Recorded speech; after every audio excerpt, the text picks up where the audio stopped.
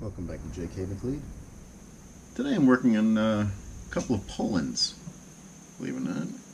Uh, when you pick up saws, it's, you know, someone, you, you go for a, a, specific saw, the guy's got like, you know, two, three of them, as, you know, do, do you want them? I'm going to throw them out, you know, I'm just going to throw them out. I'm like, yeah, sure, why not? You know, if it's, if it's free, it's for me kind of thing.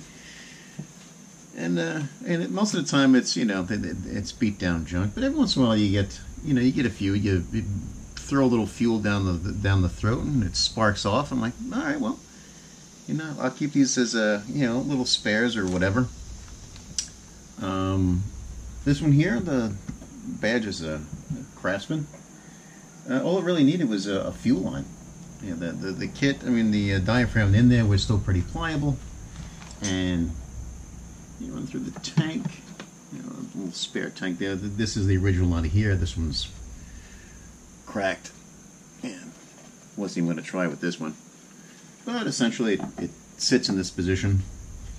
The fuel line goes in that little hole right there, comes out, runs through the handle, and out a little out a little hole into here, into the into where the uh, carb is. And the same thing with this one here. You know, it comes out of the tank, runs through the handle, down, and there's a small hole on the bottom, and it runs through. Uh, this one here, I mean, fairly clean. Uh, the tank was clean. You know, replace the fuel line. And this comes apart like a clamshell. You one, two, three, and there's one on the bottom. And the whole thing, uh, left and right side, comes apart, and it pretty much exposes the rest of the engine. They're pretty, they're pretty simple to work on. And throw this cover back on.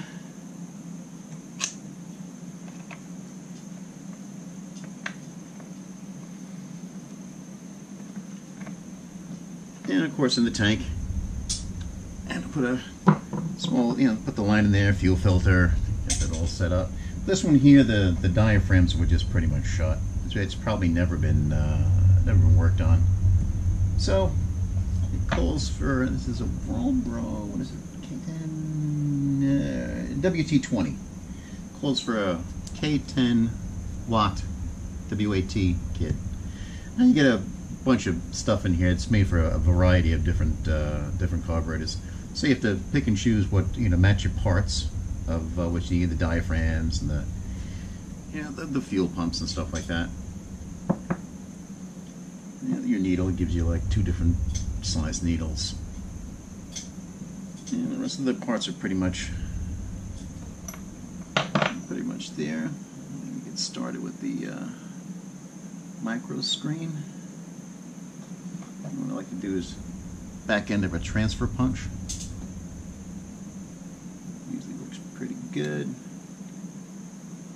And just press that right in there.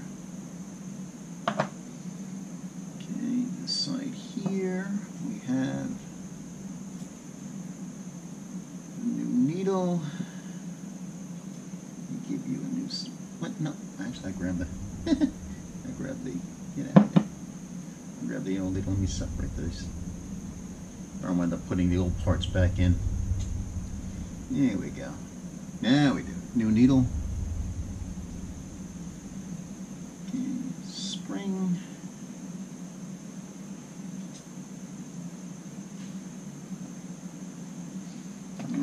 getting that spring to stand. That's the fun part.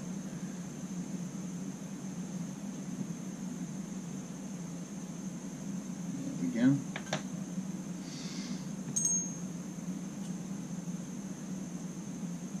Rod in there, like so.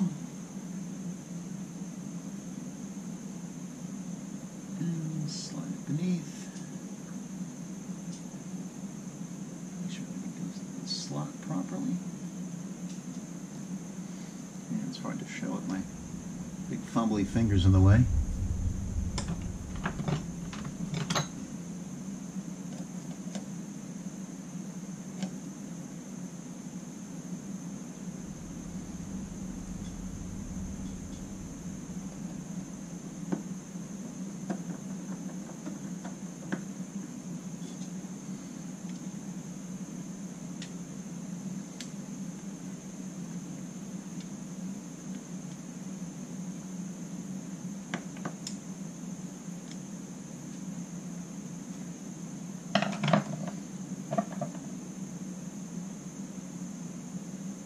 Is sitting a little low beneath the surface and bend up on that little tab right there so that's even with the with the surface around it and that should put you where you need to be.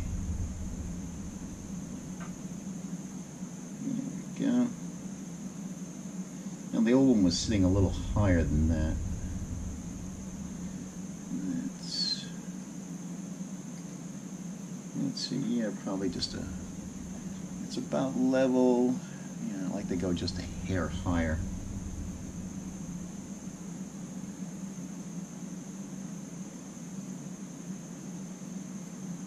That's about right. Let me see if I can get you in focus here. Mm.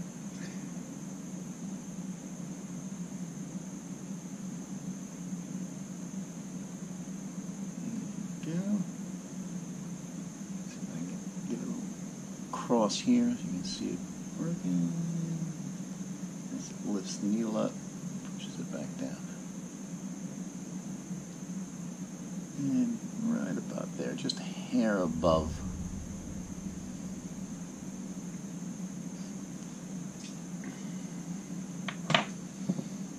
Okay. Clean this out here. Well, best laid plans of mice and men. Some reason the GoPro must have gotten hot, stopped recording in the middle of the of the file. Yeah, the original video got to about this point and then she quit. And the uh, GoPro became unresponsive. Generally, you stop it, pull out the battery, wait for 10 seconds, pop it back in, and it usually cures what ails it. Uh, pretty much case in point. I, mean, I checked the file, I, I, thought it was all there, but no.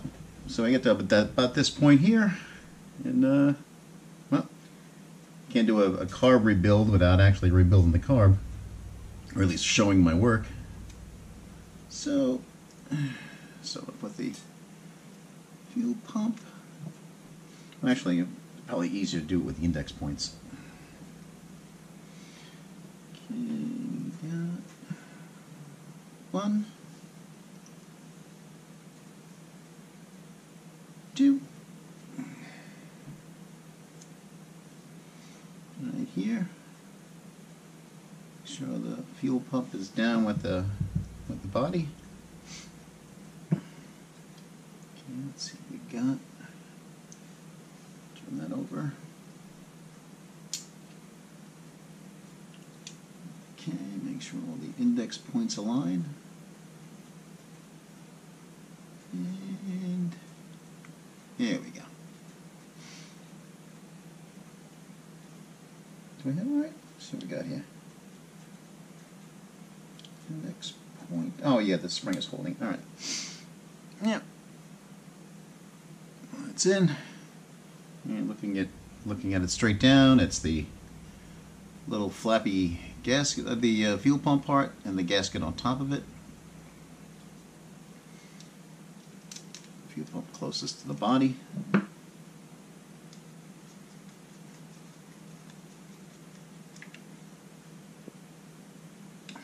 And on the other side, is the gasket first against the body It has its own index pins right there. The diaphragm itself lines up with the pins. This one here.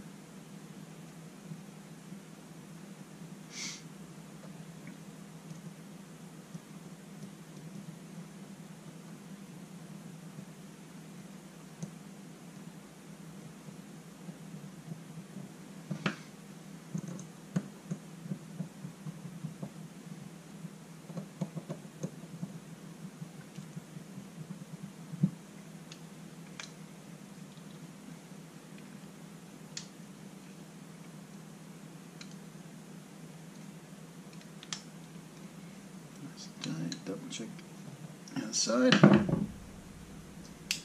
And there we go. And she's holding. 10 psi. Let's pop this back on, see if she fires up.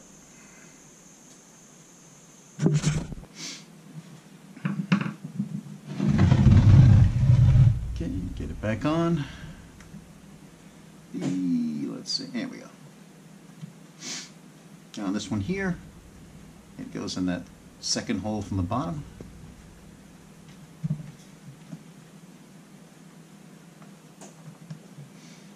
You can Get it to stand up. There we go. Just right there.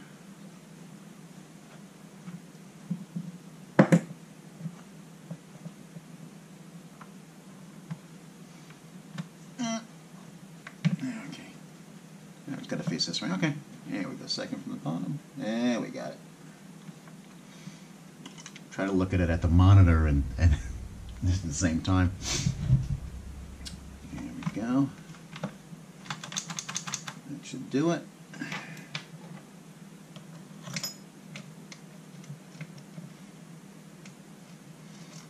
Look at the monitor. Left is right and right is left.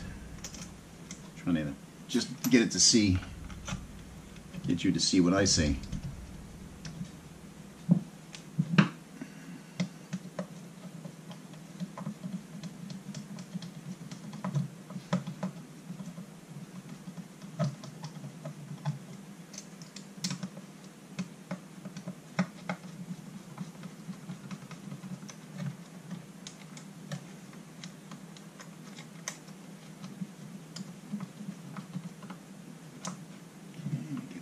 Centered in here. Flat washer, there we go.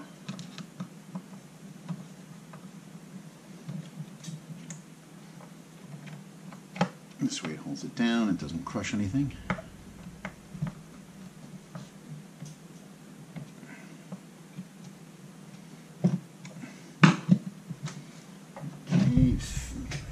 Okay, it out of the way. Fuel light on. There we go. Nah, that should be right. There we go. Hopefully the GoPro doesn't get too hot and records it. I've had the GoPro for a few years now.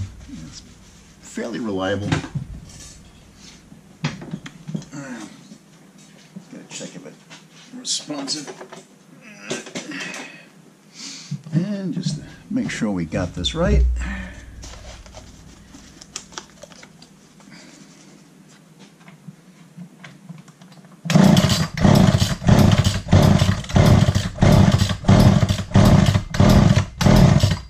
Helps if we turn it on.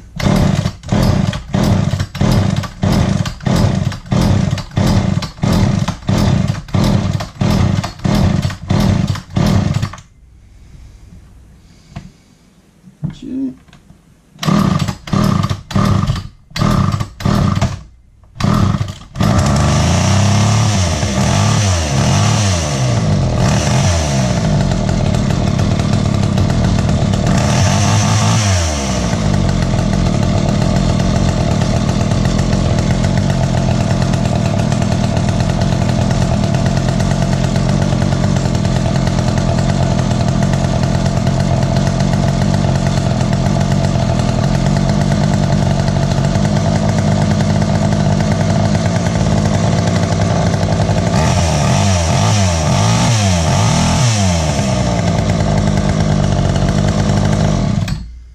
There we go. Took a little bit to prime. Let it warm. Do my adjustments. And now we're done.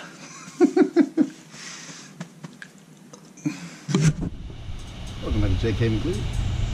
Still working on this Poulan 2000. And we're doing the oiler on it. And that oiler servicing. And the way these work, got the oil inlet hole here.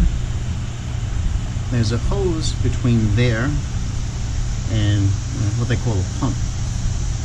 It sits right in this hole here, held in by two screws. And there's a line that comes out of there. and as I drop it,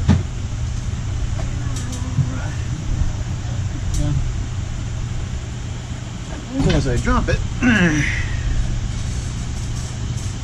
comes out of that hole and attaches to here. Now the way oil is is that the oil tank itself is pressurized and it forces the oil through here and out that little tube and into the oil, in, you know, the oil outlet, I guess it oils the bar. You can see the earthly remains of what was in there. So I'm going to try to snake this through here, try to pull it around out this hole, attach it to here. What you have to do is you have to pull the line to where it's flush with this hole here in the casting. Let's see if I can do that. I'm gonna try, see if I can pull it in because there's really no room to get it in on the other side. Not sure how to weasel that thing in there, but we'll give it a shot. A little bit of trial and error, but I got it. The easiest way I found get that hose through. Is take a small wire with a little hook on the end of it, put it through the hole. Where the oil comes out, ah, get it out on the other side where you add oil to it, to the tank, little hole in the hose, taper it on the end, and then pull it through. It's just no idea. You're going to get a tool in there. Just kind of reach in there and get the balance of the hose. The thing you have to do now is clip it flush.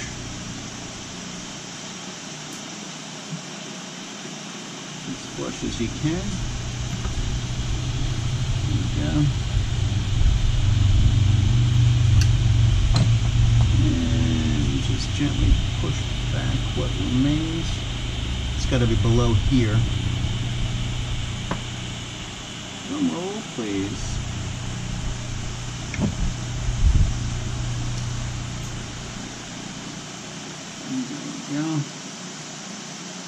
And hopefully that should do it.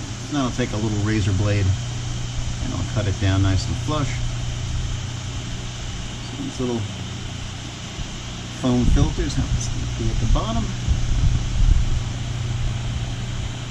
Pump back in. Two screws.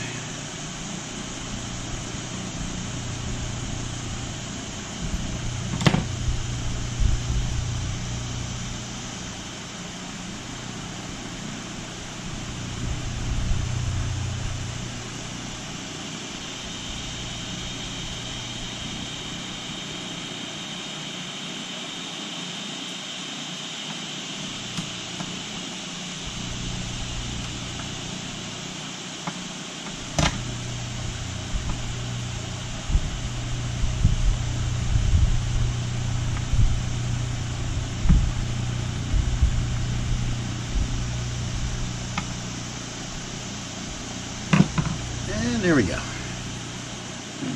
Blade, cut that back a little bit, make sure it's nice and flush. And hopefully this gal should oil. Get it all back together and see what we get.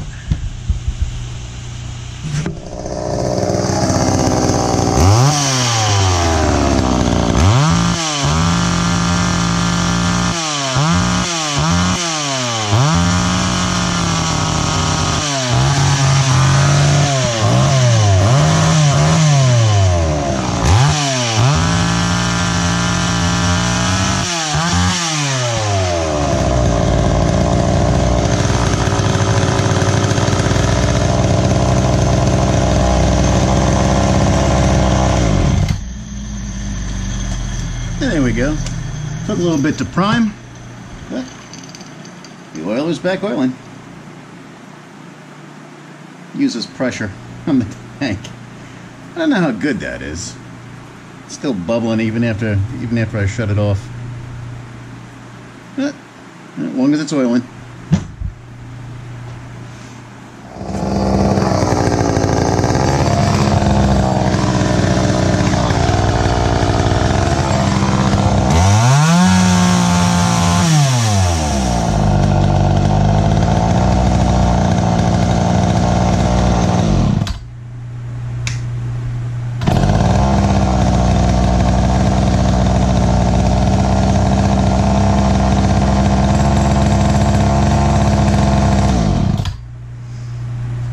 There we go, back together.